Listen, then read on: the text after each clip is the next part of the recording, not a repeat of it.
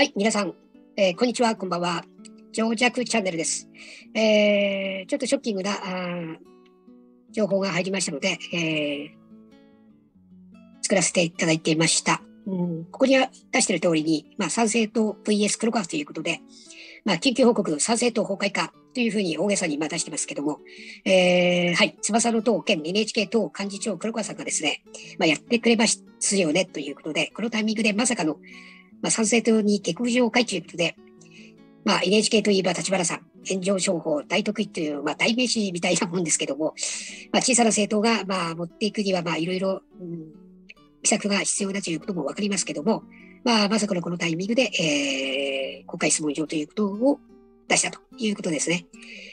まあ、私なりにこの質問状、公開質問状の内容をざっくりとですね、えー、間違ってるかもしれませんけども、えー、3つくらいにまとめてみました。一つは参政党周辺にスパイ勢力の影の疑いということで、まあ、こちらは、まあ、統一教会とか、まあ、ユダヤ団体とか、まあ、あもっと言うと安倍一族とか笹川一族、まあ、いろいろ、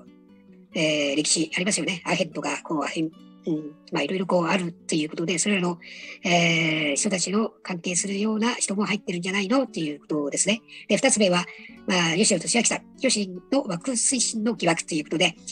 えー街頭演説で、えーまあ、反枠のことをガンガン言ってる、うー吉野さんですが、えー一方で枠推進してるんではないのということで、まあ、そういった疑惑があるよ。この辺について、えー答えてくださいということなんでしょうね。そして、えー三つ目、えーこちらちょっと私が、うん公募っていうんですけども、ウクライナウクライナの、まあ、オレンジ革命とか、まあ、ウクライナ騒乱と言われるものなど、まあ、これらはこう一応民主化を立て建前にしてですね、民主化民主化ということを言っておいてはいるんですけども、まあ、その裏でですね、えー裏組織がきちっとあって、まあ、いろいろ言われてますよね。ネオコンとか、まあ、いろいろディープステート、うん、まあ、いろいろ、まあ、あるんでしょうけども、まあ、えーそうですよね。ウクライナの、えー核疑惑とか、それからアフガンの最近、最近というか、この間のアフガンの撤退する前のですね、まあそういったいろいろ後からまあ火をつけてるのは、きちっとこう、ネオコンとかこういろいろこうそういった勢力、裏の組織がいっぱいあるということですね。まあ今まであるんで、まあそういったことについてどう思われてるんですかという認識と、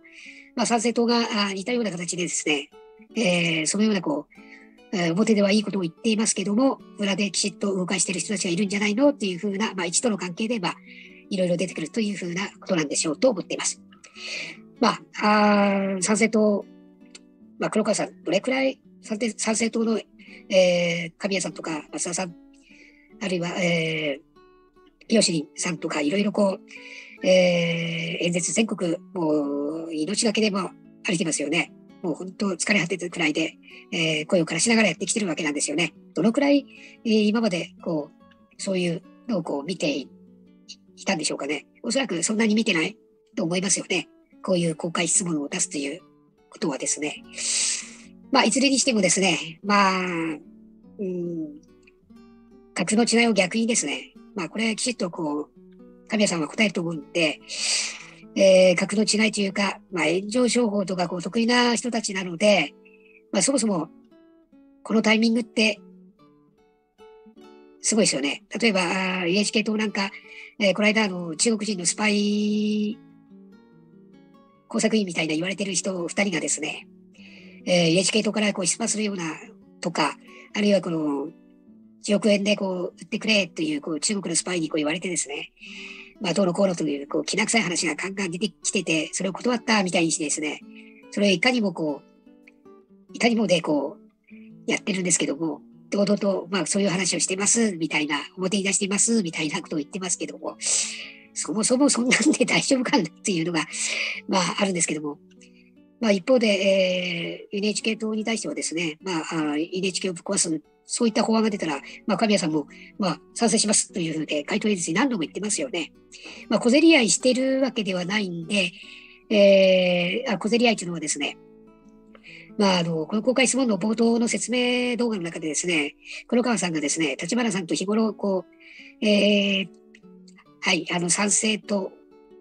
あるいは NHK と、それから新党国盛国盛党ですか。まあ一応保守という小さなものがですね、小競り合いするよりもですね、潰し合いするよりも連合でこう一緒にやったらいいのにねと言っているというふうな中で、この公開質問状を出すというふうになったというのが、まあすごいですね。そして明日7日ですね、一応、えー、桜、新聞かチャンネル桜ですかね、水島さんのところですよね。そこでこう、えー、3社、えー、NHK と、まあ黒川さん、翼の党ですね、代表、黒川さん、そして、えー、神谷さん、そして新と国森さんとですね、こう公開討論するというふうにこうなっている予定の中でですね、まあ、あえて、えー、このタイミングでこういう質問を出してくるというのは、何の裏があるのかなということで、自分たちの、うん、まあ、先ほどのスパイ、中国スパイをですね、まあ、候補者になってですね、国会にこう、行っちゃうっていう、そういうところをですね、阻止したということで、まあそういうのをこう、まあその一方でですね、こう自分たちのやってるこうまずさをこう隠すのか、あるいはあ正々堂々とこういったものを発表してますよっていうことを言いたいのか、まあいずれにしても参政党の票を食いたいのか、逆なんですよ、でもね、やってることをですね、逆に自分たちの、えー、株価を下げてしまって、逆に参政党が、これ、ひょんな、これ、まあ、こ公開どういう形にするか分かりませんけども、まあ、あのその答え方によってはもう参政党がもう株価が倍増してるしてしまうという形にもなりますよね。というふうに言ってたらですね、すぐにですね、この2番の吉林、吉野俊明さんがですね、この公開質問に対してですね、カチンときたらしくてですね、えー、もう、上げてますよね。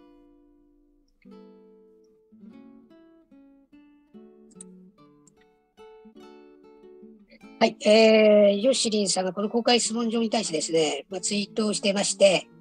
えー、協力すべき神道が命を救う行動を取ったヨシリンをルサンチマンにすることとは許すまじということで、えー、カチンカチンというふうに、えーまあ、タイトルで答えてますね。えー、翼は党の黒川敦彦氏が私を糾弾するらしい。尊敬してきた黒川氏で LINE でもつながっている黒川氏がこのようなことをするのが極めて残念だということを言ってまして、事実はこうだと。私がかつて理事長として病院再建した、これ一宮温泉って言うんでしょうね。一宮温泉病院が山梨県のワクチン拠点病院、ワクチン拠点病院となろうとした。理事長の私に許可なく、経営陣が決定したことに、えー、抗議して、これが実行される前に抗議抗議の辞職をしたまでだと。名誉と給与を捨てたのが私だ。えー、ただし、そのまま辞職を決行すると、すべての借入金の保証を私が、今、吉野ですね、吉野さんがしているので、えー、病院が倒産すると。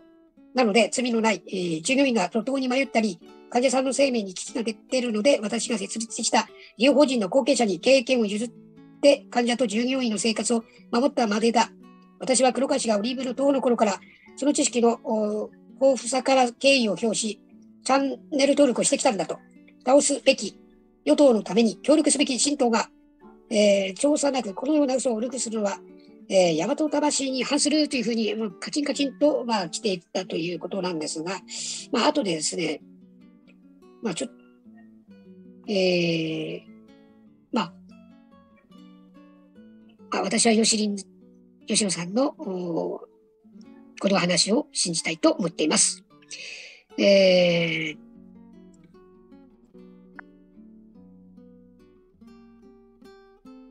こうしてですね、えー、まあ、公開上、質問上の話、公開質問上の話をしていたんですけども、今、えー、はい、渋谷でですね、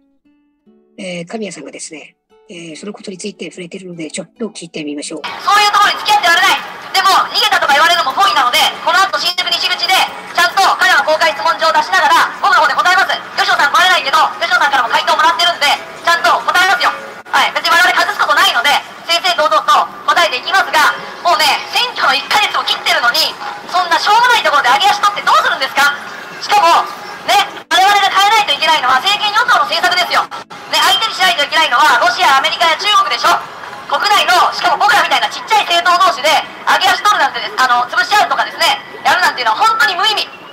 無意味です。もうパフォーマンスにしか僕は見えません。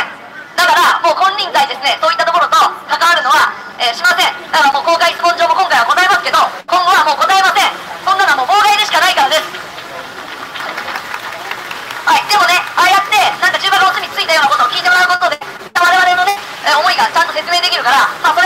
よ。だもうこのタイミングでそんなことやってる場合じゃないんです。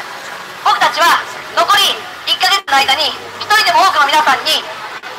情報を伝えたいんです。政党いつも言ってますけど、皆さんに参加してもらうための政治を作る政党です。皆さんに参加してもらうために何が必要か、それはさっき言った情報なんですね。情報をきちっと伝えて、このままじゃまずいじゃないかということで、でそれが参政党の応援に極端なしつながなくてもいいんです。国民の皆さんが気づいて、今の政権与党がやってることじゃないのということで、それこそ自民党の支援者の方だったら、自民党の国会議員に言う、総学会の方だったら、公明党の議員さんに言う、そうやって自民党や公明党の政策が日本人のプラスになるように変わっていけば、参政党を作った意味があるし、こうやって雨の中、みんなで集まって思いを共有する意味があるんでしょ？ということで、えー、今回の公開質問状については、えー、これから新宿西口で、まあ、あ回答したいということで、まあ、さすがですね。まあ、こんなくだらないことで 付き合ってられない、上げ足取ったりやってられないということをおっしゃっています。うん、さすがですよね。うん。